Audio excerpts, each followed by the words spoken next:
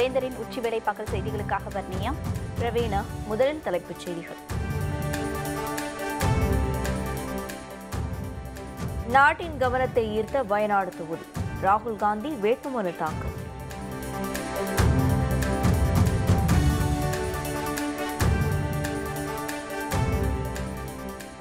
கூடுதலாக ஐந்து துணை மருத்துவமனைகள் அமைக்கப்படும். தேர்தல் பிரச்சாரத்தில் டாக்டர் பாரிவேந்தர் உறுதி.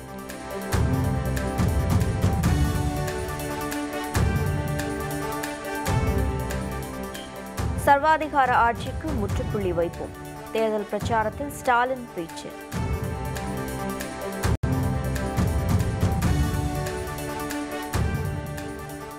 ஜெயலலிதா மரணம் தொடர்பான வழக்கு. அப்போலோ மருத்துவமனை கோரிக்கை நிராகரிப்பு. கேரள மாநிலம் வயநாடு மக்களவைத் தொகுதியில் போட்டியிடும் காங்கிரஸ் தலைவர் ராகுல் காந்தி வேட்புமனுவை தாக்கல் செய்துள்ளார். மக்களவைத் தேர்தலில் காங்கிரஸ் தலைவர் ராகுல் காந்தி உத்தரப்பிரதேசத்தில் உள்ள அமேதி தொகுதியில் போட்டியிடுவதுடன் கேரளாவின் வயநாடு தொகுதியிலும் போட்டியிடுகிறார். வயநாடு தொகுதியில் வரும் இருபத்தி மூன்றாம் தேதி வாக்குப்பதிவு நடைபெறுகிறது. இதற்கான வேட்புமனு தாக்கல் நடைபெற்று வருகிறது. பெரும் எதிர்பார்ப்புக்கிடையே ராகுல் காந்தி இன்று வேட்புமனுவை தாக்கல் செய்தார். இதற்காக கேரள மாநிலம் கோழிக்கோட்டிலிருந்து ஹெலிகாப்டர் மூலம் கல்பெட்டா பகுதிக்கு சென்றார்.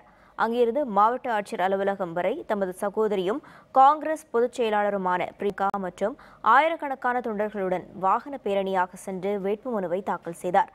தென்னிந்தியாவில் ராகுல் காந்தி போட்டியிடுவது இதுவே முதல் முறை என்பது குறிப்பிடத்தக்கது. காங்கிரஸ் தலைவர் ராகுல் காந்தி போட்டியிடும் வயநாடு மக்களவைத் தொகுதியில் பாரதிய ஜனதா தலைமையிலான தேசிய ஜனநாயக கூட்டணி சார்பில் பாரத தர்மா ஜனசேனா அமைப்பின் தலைவர் துஷார் வெள்ளாப்பள்ளி போட்டியிடுகிறார். இடதுசாரி ஜனநாயக முன்னணி சார்பில் இந்திய கம்யூனிஸ்ட் கட்சியைச் சேர்ந்த வி. பி. சுனீர் நிறுத்தப்பட்டுள்ளார். இது தவிர சோலார் மோசடி புகாரில் சிக்கிய சரிதா நாயர் வயநாடு தொகுதியில் சுயேட்சையாக போட்டியிடப் போவதாக அறிவித்துள்ளார். மக்களின் நலனுக்காக கூடுதலாக ஐந்து துணை மருத்துவமனைகள் அமைக்கப்படும் என டாக்டர் பாரிவேந்தர் தெரிவித்துள்ளார். மதசார்பற்ற முற்போக்கு கூட்டணி சார்பில் பெரம்பலூர் மக்களவைத் தொகுதியில் போட்டியிடும் இந்திய ஜனநாயக கட்சியின் நிறுவனர் தலைவர் டாக்டர் பாரிவேந்தர் தொகுதிக்கு உட்பட்ட பல்வேறு பகுதிகளில் பொதுமக்களை நேரில் சந்தித்து தீவிர வாக்கு சேகரிப்பில் ஈடுபட்டு வருகிறார். தட்டையங்கார்பேட்டை ஒன்றியத்துக்குட்பட்ட பாப்பாப்பட்டி பகுதியில் உள்ள ஸ்ரீ மகா மாரியம்மன் கோவிலில் டாக்டர் பாரிவேந்தர் வழிபட்டு இன்று காலை பிரச்சாரத்தை தொடங்கினார். அப்போது பேசியவர் எஸ்ஆர்எம் குழுமம் சார்பில் கூடுதலாக ஐந்து துணை மருத்துவமனைகள் அமைக்கப்படும் என தெரிவித்தார். தொடர்ந்து பூஞ்சாஞ்சேரி அஞ்சலகம் நீலியாம்பட்டி உள்ளிட்ட பகுதிகளில் வாக்கு சேகரித்த டாக்டர் பாரிவேந்தர் நடைபெறவுள்ள தேர்தல் நாட்டின் தலையெழுத்தை மாற்றக்கூடிய மிக முக்கியமான தேர்தல் என குறிப்பிட்டார். ஒரு பாராளுமன்ற உறுப்பினர் என்பவன் அந்த தொகுதிகளுடைய நிலையை அறிந்து தேவைகளை அறிந்து அவற்றிற்கான நிதியை பாராளுமன்றத்தில் குரல் கொடுத்து பெற்று வந்து அவற்றையெல்லாம் தீர்த்து வைப்பவன் தான் உண்மையான பாராளுமன்ற உறுப்பினர். அந்த வகையில் இதற்கு முன்னாலே தேர்ந்தெடுக்கப்பட்ட பாராளுமன்ற உறுப்பினர் நான் கேள்விப்பட்ட வரையில் தேர்ந்தெடுக்கப்பட்ட பின் திரும்பி வரவே இல்லை என்பதுதான் தகவலாக இருக்கிறது.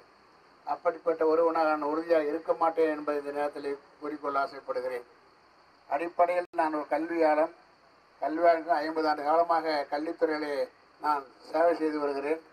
எங்கள் பல்கலைக்கழகத்தின் மூலமாகவும் நாங்கள் நடத்துகிற மருத்துவக் கல்லூரி மருத்துவமனையின் மூலமாகவும் உங்களில் பல பேர் பயன்படுத்தியிருக்கிற வாய்ப்பை பெற்றிருப்பீர்கள். அது தொடரும். அதோடு மட்டுமல்லாமல் அந்த மருத்துவமனை இருங்கலூரில் திருச்சியில் இருக்குது அதனுடைய விரிவாக்கமாக அதை சுற்றியுள்ள கிராமங்களில் ஐந்து சிறு மருத்துவமனைகள் ஏற்பாடு செய்யப்பட்டிருக்கிறது. ஆகவே மருத்துவமனைக்கு போனால் திருச்சிக்கு போகணுங்கிற அவசியம் இல்லாமல் அங்கங்கே ஐந்து மருத்துவமனைகள் ஏற்பாடு செய்யப்பட்டிருக்கிறது. அதையும் நீங்கள் எதிர்காலத்தில் பயன்படுத்தி கொள்ளலாம். அது மட்டுமல்ல இங்கே உங்களுக்கு ஒரு தொழில்நுட்ப கல்லூரி பாலிடெக்னிக் கேட்குறீங்க. அதுவும் நிச்சயமாக நான் செய்து தருவேன் என்பதை குறிப்பிடுகிறேன் தொடர்ந்து கோடப்பம்பட்டி பாலசிராமணி ஜடமங்கலம் வெள்ளாளப்பட்டி உள்ளிட்ட பகுதிகளில் டாக்டர் பாரிவேந்தர் வாக்கு சேகரித்தார். அப்போது பேசியவர் மத்தியிலும் மாநிலத்திலும் வரப்போகும் ஆட்சி மாற்றம் மக்களின் வாழ்க்கையை மாற்றும் என தெரிவித்தார். இளைஞர்களுக்கு வேலைவாய்ப்பு உருவாக்கப்படும் என டாக்டர் பாரிவேந்தர் தெரிவித்தார். தொகுதிக்கான திட்டங்களை செயல்படுத்த மத்திய அரசுக்கு அழுத்தம் கொடுக்கப்படும் என தெரிவித்தார். தொடர்ந்து நூறு நாள் வேலை திட்டத்தில் பணியாற்றிக் கொண்டிருந்த பெண்களை சந்தித்து வாக்கு சேகரித்த டாக்டர் பாரிவேந்தர் தேர்தலில் வெற்றி பெற்றால் நூற்றி ஐம்பது நாட்களுக்கு வேலையும் தகுந்த ஊதியமும் வழங்கப்படும் என தெரிவித்தார். நூறு நாள் வேலை என்று கொடுக்கப்படுகிறது. அதில் சில இடங்களில் நூறு நாளைக்கு பதிலாக ஐம்பது நாள் தான் வேலை கொடுக்குறாங்கன்னு சொல்கிறாங்க கொடுக்குற பணமும் முறையாக அவங்க கைக்கு வந்து சேருதா? இடையில ஏதாவது கட் பண்ணிக்கிறாங்கன்னு தெரியல. இதையெல்லாம் குறைகள் நீக்கப்படும். இப்போ ராகுல் காந்தி நேற்று அறிவித்திருக்கிறார். இந்த கிராமப்புற வேலை வாய்ப்புகளில் பார்த்தீங்கன்னா உங்களுக்கு இப்போ நூறு நாள் என்பது நூற்றி ஐம்பது நாளாக மாற்றி உயர்த்தி கொள்ளப்படும் ஆக நூற்றி ஐம்பது நாள் மட்டுமல்ல இப்போ கொடுக்குற சம்பளத்தை விடவும் அதிகமாக சம்பளம் கொடுப்பதற்கு ஏற்பாடு செய்து கொண்டிருக்கிறார்கள். ஆக உங்களுக்கு விரைவிலேயே விடிவு காலம் வந்து கொண்டு இருக்கிறது அந்த விடிவு காலத்தை நீங்கள் பயன்படுத்தி கொள்ள செய்ய வேண்டுவதெல்லாம் இந்த தேர்தல் நேரத்தில் யார் செய்வார்கள் யார் மாட்டார்கள் என்று அறிந்து நல்லவர்களுக்கு வாக்களிக்க வேண்டும். அந்த வகையில. SRM மருத்துவமனை இருக்கங்கெல்லாம் போறீங்க பயன்படுத்துறீங்க. அதையெல்லாம் உங்களுக்கு முழுமையா பயன்படுத்திக் கொள்ளுங்கள். ஆக ஒரு நல்ல வேட்பாளரை பாராளுமன்றத்துக்கு அனுப்புங்கள். அங்கே உங்கள் தேவையெல்லாம் பேரி குரல் கொடுத்து அதற்கான நிதியை பெற்று வந்து உங்கள் தேவைகளை பூர்த்தி செய்வேன் என்பதை இந்த நேரத்தில் சொல்லிக் கொள்கிறேன். மறவாதீர். உதயசூரியன் உதயசூரியன் இதனைத் தொடர்ந்து ஆண்டிப்பட்டி ஜம்புமடை கலிங்கப்பட்டி மலையப்ப நகர் உள்ளிட்ட பகுதிகளில் வாக்கு சேகரித்த டாக்டர் பாரிவேந்தர் இந்துத்துவா கொள்கைகளை உடைய மோடியை மக்கள் அப்படுத்த வேண்டும் என கூறினார். மக்களின் தேவைகளை அதிமுக அரசு நிறைவேற்றவில்லை என டாக்டர் பாரிவேந்தர் குற்றம் சாட்டினார். மாற்றத்தை விரும்பும் மக்கள் நல்லாட்சியை தேர்ந்தெடுக்க சிந்தித்து வாக்களிக்க வேண்டும் என கூறினார். தொகுதி மக்களின் பிரச்சினைகளை தீர்க்க முழு முயற்சியுடன் செயல்படுவோம் என டாக்டர் பாரிவேந்தர் தெரிவித்தார். இந்திய தேர்தல் ஆணையர்கள் அசோக் லவாசா சுஷில் சந்திரா மற்றும் தமிழக தலைமை தேர்தல் அதிகாரி சத்யபிரதா சாஹூ ஆகியோர் சென்னையில் தற்போது செய்தியாளர்களை சந்தித்து வருகின்றனர். அதன் நேரலை காட்சிகளை தற்போது காண்போம். Which is outside the polling station. Political parties also demanded that by-elections for the vacant Tamil Nadu Legislative Assembly seats be conducted soon. One political party also raised issue about similarity of their election symbol with other parties. They also requested that the transfer policy which has been issued by the Election Commission of India that should be implemented and no officer should be allowed to continue in his or her place of posting which is not covered by the transfer policy. Some of the political parties brought to the notice of the Election Commission some letters regarding a government scheme which have been issued to the beneficiaries by the state government during the model code of conduct.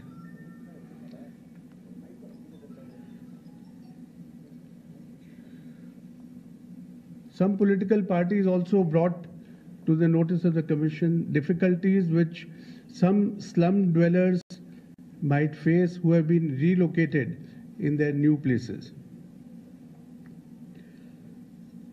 Also, some of the political parties mentioned about difficulties that they were having in obtaining permission from the single window service. On the issue of adequate assured minimum facilities, political parties demanded that at all the polling stations there should be adequate supply of drinking water as well as shamianas should be provided because the temperatures are rising. And among some suggestions, uh, one of the political parties suggested that as a measure of election reforms, fast track courts to dispose of the violation of MCC within three months. Fast track courts should be set up. The Commission attaches maximum importance to ensuring conducive environment for free and fair elections in the state as well as in the entire country. Given the fact that elections for parliament and by-elections to assembly constituencies are being conducted in Tamil Nadu, the Commission has directed the electoral machinery of the state to gear up with due logistic arrangements, effective monitoring, and vigilance. We have asked during our review all the officers of the state to take comprehensive and effective measures not only for the conduct of successful elections but also மத்தியில் நடைபெறும் சர்வாதிகார ஆட்சிக்கு முற்றுப்புள்ளி வைக்கும் தேர்தல் என திமுக தலைவர் மு ஸ்டாலின் தெரிவித்துள்ளார். பொள்ளாச்சி மக்களவைத் தொகுதி திமுக வேட்பாளர் சண்முக சுந்தரத்திற்கு ஆதரவாக தொண்டாமுத்தூரில் இன்று காலை நடைபெற்ற தேர்தல் பிரச்சார கூட்டத்தில் பேசிய ஸ்டாலின் பொள்ளாச்சி பாலியல் வன்கொடுமை சம்பவம் தொடர்பாக சிபிஐ இன்னும் ஏன் விசாரணையை தொடங்கவில்லை என கேள்வி எழுப்பினார். தேர்தலுக்காக மட்டும் பழனிசாமி மக்களை சந்தித்து வருவதாக தெரிவித்தார். விரைவில் பழனிசாமி தலைமையிலான ஆட்சி கவிழும் என்றும் ஸ்டாலின் தெரிவித்தார். உள்ளாட்சி பணி ஒப்பந்தங்களில் ஊழல் நடைபெற்றதாகவும் அவர் குற்றம் சாட்டினார். எந்த நிலையிலும் தேர்தலை நடத்தக்கூடாதுன்னு நீதிமன்றம் தே ஸ்டே கொடுக்கல. ஒழுங்காக நடத்தணும்னா நீதிமன்றம் சொல்லிக்கிட்டு இருக்கு தேதியும் குறிச்சிருக்கு. ஆனால் இது வரைக்கும் நடத்துவதற்கு இந்த ஆட்சி வரல. காரணம் இந்த உள்ளாட்சி தேர்தல் நடத்தினா திமுக தான் வெற்றி பெற்றுடும். அதிமுக வெற்றி பெற வாய்ப்பே கிடையாது. அது ஒரு காரணம். இன்னொரு காரணம் முக்கியமான காரணம் என்னன்னு கேட்டீங்கன்னா உள்ளாட்சி தேர்தல் நடந்துச்சுன்னா மேயர் வந்துடுவார் ஒன்றிய சேர்மன் வந்துடுவாங்க கவுன்சிலர் வந்துடுவாங்க பஞ்சாயத்து பிரசிடென்ட் வந்துடுவாங்க ஆக உள்ளாட்சி தேர்தல் நடத்தினா அதெல்லாம் நடத்தி அவங்கெல்லாம் இந்த பொறுப்புக்கு வந்துட்டா அங்கே நடக்கிற வேலைகளுக்கு கமிஷன் வாங்க முடியாது. லஞ்சம் வாங்க முடியாது. ஊழல் செய்ய முடியாது. ஏன்னா அது அதுக்கு அந்தந்த துறையை சார்ந்தவங்க அந்தந்த ஊரில் அங்கங்கே பிரசிடென்ட் வந்துடுவாங்க அவங்க கண்ட்ரோலில் போயிடும். எதுவாக இருந்தாலும் மாநகராட்சியில் ஒன்றிய கூட்டத்தில் நகராட்சி கூட்டத்தில் பேரூராட்சி கூட்டத்தில் அந்த தீர்மானத்தை வச்சு பாஸ் பண்ணி அதற்கு பிறகு தான் எல்லா வரைகளையும் கொடுக்க முடியும். இப்போ அதெல்லாம் நடத்தாத காரணத்தினால இப்போ டைரக்டா யாரு? வேலுமணி. உள்ளாட்சித்துறை அமைச்சர். டைரக்டா லஞ்சம். டைரக்டா இன்றைக்கு கொள்ளடிச்சுக்கிட்டு இருக்கிறாங்க தான் நடந்துகிட்டு இருக்கு. ஆகவே அதனால தான் உள்ளாட்சி தேர்தலையே நடத்த முடியாத நிலையில இந்த ஆட்சி இருந்து கொண்டிருக்கிறது. இதனைத் தொடர்ந்து திமுக தலைவர் மு ஸ்டாலின் பொள்ளாச்சி தொகுதியில் போட்டியிடும் திமுக வேட்பாளர் சண்முக சுந்தரத்தை ஆதரித்து வேன் மூலம் பிரச்சாரம் மேற்கொண்டார். டெண்டர்கள் எல்லாம் வேலுமணியுடைய குடும்பத்திற்கு அவருக்கு வேண்டப்பட்டவர்களுக்கு அவருடைய பினாமிகளுக்கு தான் எல்லா டெண்டர்களும் கொடுக்கப்பட்டிருக்கு.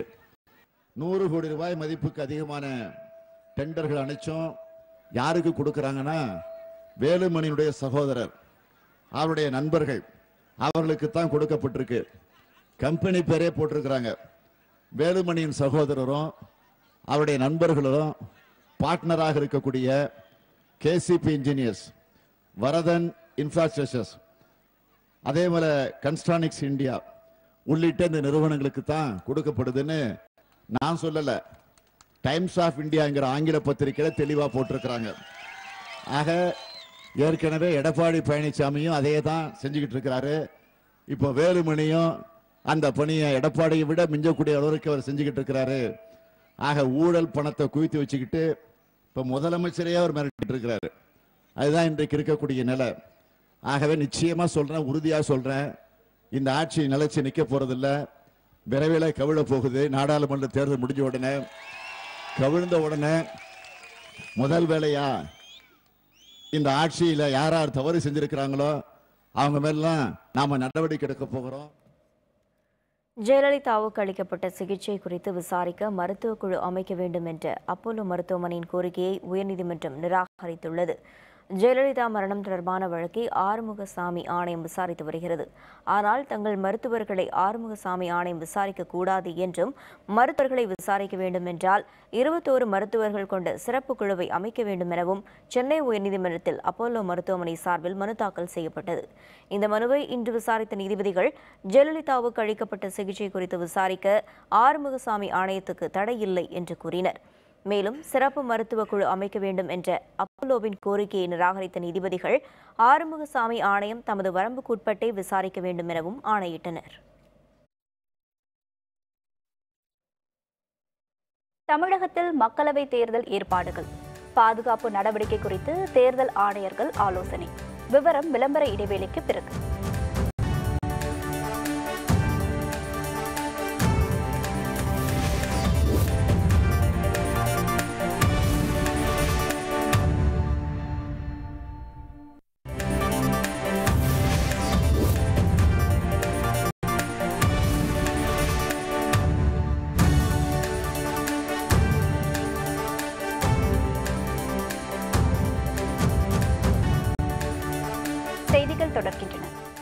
மக்களவை தேர்தலுக்கான முன்னேற்பாடுகள் மற்றும் சட்டம் ஒழுங்கு நிலை குறித்து சென்னையில் இந்திய தேர்தல் ஆணையர்கள் இன்று ஆலோசனை நடத்தினர். இந்த ஆலோசனைக் கூட்டத்தில் தமிழக தலைமை தேர்தல் அலுவலர் சத்யபிரதா சாகு தலைமை செயலர் கிரிஜா வைத்தியநாதன் காவல்துறை தலைமை இயக்குனர் டி கே ராஜேந்திரன் மற்றும் வருவாய்த்துறை வருமான வரித்துறை உயர் அதிகாரிகள் பலரும் பங்கேற்றனர். இது தொடர்பான கூடுதல் தகவல்களை தருகிறார் எமது செய்தியாளர் செய்து. தமிழகத்தில் உள்ள முப்பத்தி ஒன்பது மக்களவை தொகுதிகளுக்கும் பதினெட்டு சட்டப்பேரவை தொகுதிகளுக்கான இடைத்தேர்தலும் வருகின்ற பதினெட்டாம் தேதி நடைபெற இருக்கிறது. இந்த தேர்தலை அமைதியாக நடத்துவது குறித்தும் அதேபோல அதற்கான முன்னேற்பாடுகள் குறித்தும் ஆய்வுக் கூட்டம் இரண்டாவது நாளாக இன்று செயல் நடைபெற்று வருகிறது. தேர்தல் ஆணையர்கள் சுசில் சந்திரா அசோக் லவாசா ஆகியோர் தலைமையில் நடைபெற்று வரும் இந்த ஆய்வுக் கூட்டத்தில் முதற்கட்டமாக வருமான வரித்துறை சுங்கத்துறை மற்றும் வருவாய்த்துறை அதிகாரிகளுடன் ஆலோசனை நடத்தப்பட்டது. அதனைத் தொடர்ந்து இரண்டாவது கட்டமாக தமிழக தலைமை தேர்தல் அலுவலர் சத்யபிரதா சாகு தலைமைச் செயலாளர் கிரிஜா வைத்தியநாதன் அதேபோல டிஜிபி டி கே ராஜேந்திரன் உட்பட முக்கிய அதிகாரிகளுடன் ஆலோசனை நடத்தப்பட்டது. பொதுவாக இந்த தேர்தலில் வாக்காளர்களுக்கு பணம் அதிகமாக தரப்படலாம் என்ற புகார்கள் வந்துள்ள நிலையில் இந்தியாவில் முன்னூற்றி எழுபத்தி ஏழு கோடி ரூபாய் பறிமுதல் செய்யப்பட்டுள்ள நிலையில் தமிழகத்தில் மட்டும் நூற்றி பதினேழு கோடி ரூபாய் பறிமுதல் செய்யப்பட்டிருக்கிறது. இந்த சூழ்நிலையில் தமிழகத்தில் வாக்காளர்களுக்கு பணம் தருவதை கட்டுப்படுத்தும் வகையிலான ஆலோசனைகள் வழங்கப்பட்டிருக்கிறது. அதேபோல நேற்று நடைபெற்ற அனைத்து கட்சி நிர்வாகிகளின் ஆலோசனை கூட்டத்தில் பெறப்பட்ட மனுக்களின் அடிப்படையில் கோடை காலத்தை சமாளிப்பது குறித்தும் அதேபோல ஒவ்வொரு வாக்குச்சாவடிகளுக்கும் பலத்த பாதுகாப்பு போடுவது அதேபோல சிசிடிவி கேமராக்கள் அமைப்பது மற்றும் கோடை காலத்தை சமாளிக்கும் வகையில் குடிநீர் வசதி சாமியான பந்தல் உட்பட பல்வேறு வசதிகளை ஏற்படுத்தி நூறு சதவீத வாக்குப்பதிவை உறுதிப்படுத்தக்கூடிய ஒரு ஆலோசனை கூட்டமாகவே இந்த கூட்டம் நடத்தியிருக்கிறது வேந்தர் செய்திகளுக்காக சென்னையிலிருந்து ஒளிப்பதிவாளர் விஜயுடன் செய்யது தேர்தலுக்கு பின் மத்தியிலும் மாநிலத்திலும் ஆட்சி மாற்றம் ஏற்படும் என டாக்டர் பாரிவேந்தர் தெரிவித்துள்ளார். பெரம்பலூர் மக்களவைத் தொகுதியில் தீவிர பிரச்சாரத்தில் ஈடுபட்டுள்ள டாக்டர் பாரிவேந்தர் மகாதேவி கிராமத்திற்கு சென்றார். அவருக்கு ஏராளமான பெண்கள் ஆரத்தி எடுத்து வரவேற்றனர். அப்போது பேசிய அவர் தேர்தலுக்கு பின் மத்தியிலும் மாநிலத்திலும் நிச்சயம் மாற்றம் வரும் என தெரிவித்தார். தொடர்ந்து நல்லப்பநாயக்கன்பட்டி மகாதேவி புதூர் வேலம்பட்டி முத்துராஜபாளையம் லட்சுமாபுரம் இலுப்பூர் உள்ளிட்ட பகுதிகளில் வாக்கு சேகரித்த டாக்டர் பாரிவேந்தர் நூறு நாள் வேலை திட்டம் நூற்று ஐம்பது நாட்களாக மாற்றப்படும் என தெரிவித்தார். தமிழகத்தில் ஊழல் ஆட்சி நடைபெற்றுக் கொண்டிருப்பதாக அவர் குற்றம் சாட்டினார். காவிரி கூட்டு குடிநீர் திட்டம் கொண்டு வரப்படும் என்றும் டாக்டர் பாரிவேந்தர் தெரிவித்தார். இதைத் தொடர்ந்து மகாதேவி புதூர் பகுதியில் உள்ள பார்கவகுல முத்துமாரியம்மன் கோவிலில் டாக்டர் பாரிவேந்தர் சுவாமி தரிசனம் செய்தார். பின்னர் பேசிய டாக்டர் பாரிவேந்தர் பிரதமர் மோடி தொழிலதிபர்களுக்கு மட்டுமே நல்லவராக உள்ளதாக விமர்சித்தார்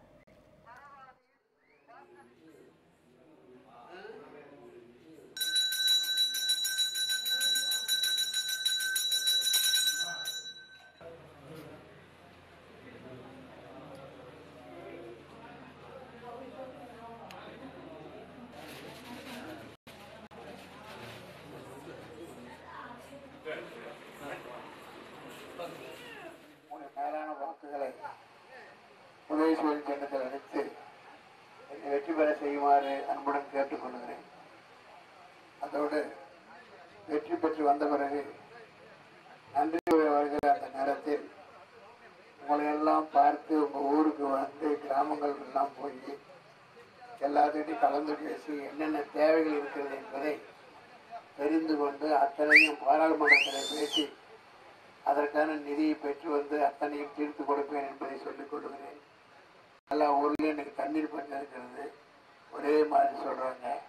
அதை வந்தவுடன் அதற்கு முழு கவனம் செலுத்தி காவிரி கூட்டு குடிநீர் திட்டத்தை விரிவுபடுத்தி உங்களுடைய தண்ணீர் பற்றி தீர்ப்பேன் என்பதோடு மட்டுமல்லாமல் விவசாயம் சார்ந்த பகுதி விவசாயம் சார்ந்த பகுதியில் நீங்கள் விளைவிக்கிற குறிப்பாக சின்ன வெங்காயம் போன்ற பொருள்களை எல்லாம் பதப்படுத்தி விற்பதற்கு கிடங்குகள் அமைத்து தரப்படும் குளிரூட்டப்பட்ட கிடங்குகள் அமைத்து தரப்படும். அதனால் உங்களுடைய வய- வளர்ச்சியில் முன்னேற்றத்தில் எல்லா வயிற்றிலும் நான் உறுதுணையாக இருப்பேன் என்பதை சொல்லிக் கொள்கிறேன் உதயசூரியன் உதயசூரியன் பின்னர் பிள்ளாப்பாளையம் அமராவதி சாலை M. Karuppampatti P. K. Salakkadu Konangipatti Mettupalayam உள்ளிட்ட பகுதிகளில் டாக்டர் பாரிவேந்தர் பிரச்சாரம் மேற்கொண்டார். இதனைத் தொடர்ந்து மாலை நான்கு மணிக்கு ஊரக்கரை பகுதியில் பிரச்சாரத்தை தொடங்கும் டாக்டர் பாரிவேந்தர் பெருகனூர் தேவானூர் மாட்டுப்புறம் தாண்டவம்பட்டி உள்ளிட்ட பகுதிகளில் இரவு ஒன்பது மணி வரை தீவிர வாக்கு சேகரிப்பில் ஈடுபட உள்ளார். மக்கள் ஆட்சி மாற்றத்தை விரும்புவதாக மக்கள் நீதி மய்யம் தலைவர் கமலஹாசன் தெரிவித்துள்ளார். சென்னை விமான நிலையத்தில் செய்தியாளர்களிடம் பேசியவர் மக்கள் மாற்றத்தை விரும்புவதால் பொறுப்பும் கடமையும் அதிகரித்து விட்டதாக கூறினார். வாக்கிற்கு பணம் கொடுப்பது சாதாரணமாகிவிட்டதாக தெரிவித்த கமலஹாசன் அதனை தடுக்க தேர்தல் ஆணையம் இன்னும் மும்முரமாக செயல்பட வேண்டும் என கேட்டுக்கொண்டார். மக்கள் மாற்றத்தை விரும்புகிறார்கள் என்பது தெளிவாக தெரிகிறது. நான் திராவிடன் நாம் எல்லோருமே திராவிடர்கள் இங்கே நின்று கொண்டு பேட்டி அளிப்பவரும் சரி பேட்டி கேட்பவரும் சரி அதுதான் உண்மை. இது அந்த இரு கட்சிகளும் தங்களுக்கென்று பகிர்ந்து எடுத்துக்கொள்ள திராவிடம் அப்படிப்பட்ட விஷயம் அல்ல. எல்லாருக்கும் சொந்தமான ஒரு விஷயம்தான். அது ஒரு இனக்குறிப்பு. அதை சேர்ந்தவன் நான். என்னுடைய அறிக்கையும் அதுவும் இருக்கிறது. அல்லது எங்கிருந்தாலும் எடுத்துக்கொள்வோம் உழவர் சந்தை என்ற விஷயத்தை அவர்கள் ஜன்னல் வழியாக காற்றில் பறந்து விட்டது. அவர்கள் செய்த நல்ல விஷயம்தான். அது யார் செய்திருந்தாலும் அதை எடுத்து அதை இன்னும் மேம்படுத்த என்ன முயற்சி செய்ய முடியுமோ அதையெல்லாம் அஹ், மக்கள் நீதி மையம் செய்திருக்கிறது. நாகை அருகே மீன்பிடித்துக் கொண்டிருந்த தமிழக மீனவர்களை விரட்டியடித்த இலங்கை கடற்படையினர் ஒரு லட்சம் ரூபாய் மதிப்பிலான வலைகளை பறித்து சென்றனர். நாகை மாவட்டம் சின்னப்பேடு பகுதியைச் சேர்ந்த நாற்பதுக்கும் மேற்பட்ட மீனவர்கள் கோடியக்கரை தென்கிழக்கே இன்று அதிகாலை கடலில் மீன்பிடித்துக் கொண்டிருந்தனர். அப்போது அங்கு வந்த இலங்கை கடற்படையினர் மீனவர்களை மீன்பிடிக்க விடாமல் விரட்டி அடித்ததுடன் திசை காட்டும் கருவி மற்றும் ஒரு லட்சம் ரூபாய் மதிப்பிலான மீன்பிடி வலைகளையும் பறித்து சென்றனர். இலங்கை கடற்படையினரின் தொடர் அட்டூழியத்தால் தங்களின் வாழ்வாதார கேள்விக்குறியாகியுள்ளதாக கரை திரும்பிய மீனவர்கள் வேதனையுடன் தெரிவித்துள்ளனர். காஞ்சிபுரம் மாவட்டத்தில் தேர்தல் நடத்தை விதிமுறைகளை மீறி அதிமுகவினர் சுவர் விளம்பரங்கள் செய்வதாக சமூக ஆர்வலர்கள் குற்றம் சாட்டியுள்ளனர். மக்களவைத் தேர்தல் மற்றும் இடைத்தேர்தல் தேதிகள் அறிவிக்கப்பட்டவுடன் தேர்தல் நடத்தை விதிகள் நடைமுறைக்கு வந்துள்ளன. ஆனால் அவற்றை பொருட்படுத்தாமல் அதிமுகவினர் பல்வேறு இடங்களில் சுவர் விளம்பரம் செய்து வருகின்றனர். காஞ்சிபுரம் மாவட்டத்தில் வாலஜாபாத் முத்தியால்பேட்டை ஐயம்பேட்டை படப்பை உள்ளிட்ட பகுதிகளில் வீடுகளின் சுவர்களில் இரட்டை இலை மற்றும் கூட்டணி கட்சிகளின் சின்னங்களை வரைந்து பிரச்சாரம் செய்கின்றனர். தேர்தல் நன்னடத்தை விதிகளை அதிமுகவினர் பின்பற்றவில்லை என சமூக ஆர்வலர்கள் தெரிவித்துள்ளனர். இதுபோன்ற விதிமீறல்களை தேர்தல் அதிகாரிகளும் கண்டுகொள்வது இல்லை எனவும் அவர்கள் குற்றம் சாட்டியுள்ளனர்.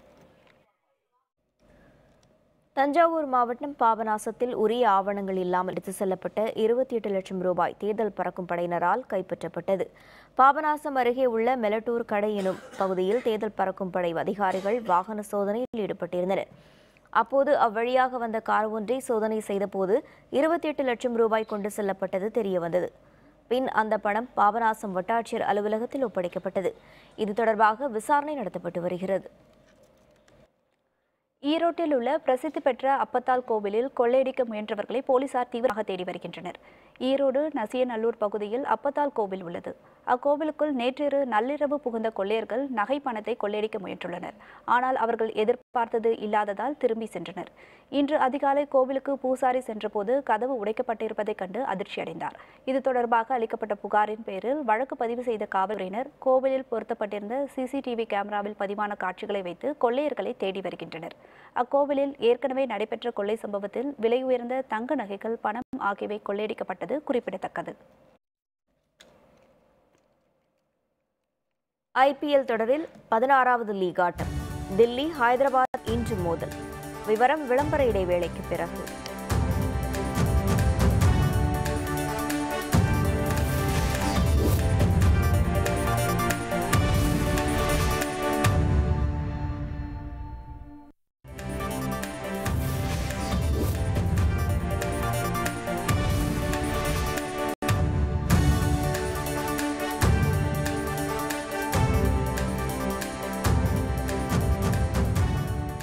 செய்திகள் தொடர்கின்றன.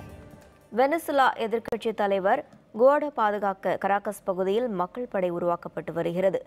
வெனிசுலா அதிபர் நிக்கோலோஸ் மதுரோவின் ஆட்சி காலத்தில் அந்நாடு கடும் பொருளாதார வீழ்ச்சியை சந்தித்து வருகிறது. போராட்டம் உணவு பற்றாக்குறையால் அரசு கடுமையான நெருக்கடியை சந்தித்தபோது அமெரிக்க ஆதரவு பெற்ற எதிர்க்கட்சி தலைவர் ஜியான் குவைடா தன்னை அதிபராக அறிவித்துக் கொண்டார். எனினும் வெனிசுலா ராணுவம் மதுரோவின் கட்டுப்பாட்டில் இருப்பதால் குவைடாவால் முழு அதிகாரத்தை கைப்பற்ற முடியவில்லை. இந்நிலையில் குவைடா தன் கட்டுப்பாட்டில் வைத்திருக்கும் தலைநகர் கராகஸை பாதுகாக்க மக்கள் படையை உருவாக்கியுள்ளார். குவைடா ஆதரவாளர்கள் நிறைந்த அந்நகரில் ஆண் பெண் என்ற வித்தியாசம் பாராமல் அனைவரும் இப்படையில் இணைந்துள்ளனர். அமெரிக்கா வழங்கிய ஆயுதங்கள் மூலம் அவர்களுக்கு பயிற்சி அளிக்கப்பட்டு வருகிறது. ஐபிஎல் கிரிக்கெட் போட்டியில் இன்று நடைபெறும் பதினாறாவது லீக் ஆட்டத்தில் தில்லி ஹைதராபாத் அணிகள் மோதுகின்றனர். ஐபிஎல் இருபது ஓவர் கிரிக்கெட் தொடர் இந்தியாவின் பல்வேறு பகுதிகளில் நடைபெற்று வருகிறது. இன்று நடைபெறும் லீக் ஆட்டத்தில் ஸ்ரேயாஸ் ஐயர் தலைமையிலான தில்லி அணியும் கேன் வில்லியம்சன் தலைமையிலான ஹைதராபாத் அணியும் மோதுகின்றனர். ஹைதராபாத் அணி இதுவரை விளையாடிய மூன்று போட்டிகளில் இரண்டில் வெற்றியும் ஒரு போட்டியில் தோல்வியும் அடைந்து புள்ளி பட்டியலில் மூன்றாவது இடத்தில் உள்ளது. தில்லி அணி நான்கு போட்டிகளில் இரண்டில் மட்டுமே வெற்றி பெற்று ஐந்தாவது இடத்தில் உள்ளது. எனவே இன்றைய போட்டியில் வெற்றி பெற்று முன்னிலை பெற இரு அணிகளும் போராடும் என எதிர்பார்க்கப்படுகிறது. தில்லியில் உள்ள பொரஷா கோட்லா மைதானத்தில் இரவு எட்டு மணிக்கு போட்டி தொடங்குகிறது. மீண்டும் தலைப்புச் செய்திகள். நாட்டின் கவனத்தை ஈர்த்த வயநாடு தொகுதி. ராகுல் காந்தி வேட்புமனு தாக்கல்.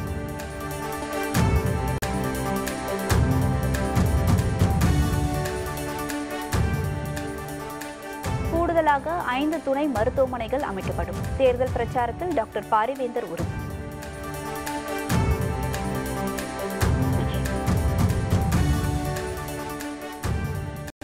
சர்வாதிகார ஆட்சிக்கு முற்றுப்புள்ளி வைப்போம். தேர்தல் பிரச்சாரத்தில் ஸ்டாலின் பேச்சு.